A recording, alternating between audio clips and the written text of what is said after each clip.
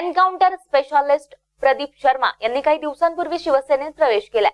आता encounter fame Bhanupratap Barge हे देखील राजकारणात एंट्री करणार असल्याची जोरदार चर्चा आहे.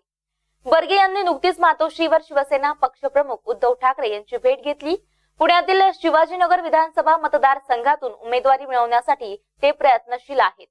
राजकीय वर्तुळात शर्मा यांची चर्चा सुरू असतानाच एन्काउंटर फेम आणि निवृत्त पोलीस अधिकारी बर्गेही राजकीय आखाड्यात उतरण्याच्या तयारीत आहे. त्यांनी नुकतीच मुंबईत मातोश्रीवर शिवसेना पक्षप्रमुख ठाकरे यांची भेट घेतली. बर्गे यांना शिवाजीनगर विधानसभा मतदारसंघातून उमेदवारी मिळावी यासाठी निवृत्त पोलीस अधिकाऱ्यांची पुण्यातील हॉटेल वैशाली येथे बैठक झाली.